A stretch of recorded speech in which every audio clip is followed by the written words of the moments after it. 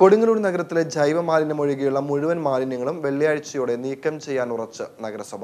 നാൽപ്പത്തിനാല് വാർഡുകളിൽ നിന്നുള്ള ഇലക്ട്രോണിക്സ് ഇലക്ട്രിക്കൽ പ്ലാസ്റ്റിക് മാലിന്യങ്ങൾ പൂർണമായും നീക്കം ചെയ്യാനാണ് തീരുമാനം. വാർഡുകളിൽ നിന്ന് ശേഖരിക്കുന്ന മാലിന്യം ഗ്രീൻ കേരള കമ്പനിക്കും മറ്റ് അംഗീകൃത ഏജൻസികൾക്കും കൈമാറും. ഓരോ വാർഡിലും മൂന്നും നാലും സ്ഥലങ്ങളിലായി ആരോഗ്യ ധർമ്മസേനയുടെ സഹകരണത്തോടെ വാർഡ് കൗൺസിലർമാരുടെ മേൽനോട്ടത്തിലാണ് മാലിന്യം ശേഖരിക്കുന്നത്.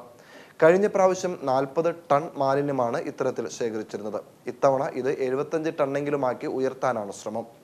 ഇതോടൊപ്പം നഗരസഭയിലെ മുഴുവൻ അഴുക്കുചാലുകളും തോടുകളും വൃത്തിയാക്കി ഉപയോഗപ്രദമാക്കുന്ന ജോലികളും ആരംഭിച്ചിട്ടുണ്ട്. വർഷങ്ങളായി മണൽ മൂടിയും മാലിന്യം നിറഞ്ഞും കിടക്കുന്ന കാനകളടക്കമുള്ളവ വൃത്തിയാക്കി മലിനജലമൊഴുക്കാവുന്ന വിധത്തിലാക്കുന്ന ജോലിയാണ് നടന്നുവരുന്നത് നഗരത്തിൽ ഹോട്ടലുകളിൽ നിന്നും വീടുകളിൽ നിന്നും കാനയിലേക്ക് തുറന്നു വെച്ചിട്ടുള്ള മലിനജല കുഴലുകൾ അടയ്ക്കണമെന്നും അനധികൃതമായി കാനകളിലേക്ക് സ്ഥാപിച്ചിട്ടുള്ള പൈപ്പുകൾ നീക്കം ചെയ്യണമെന്നും ആവശ്യപ്പെട്ട് ബന്ധപ്പെട്ടവർക്ക് നോട്ടീസ് നൽകിയിട്ടുണ്ട്.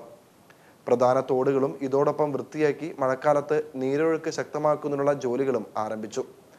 രണ്ടാം വാർഡിലെ തോടും ഇതിൽ ഉൾപ്പെടും. നാൽപ്പതോളം കണ്ടിജൻ ജീവനക്കാരും തൊഴിലുറപ്പ് തൊഴിലാളികളും ചേർന്നാണ് ജോലികൾ ചെയ്യുന്നത്.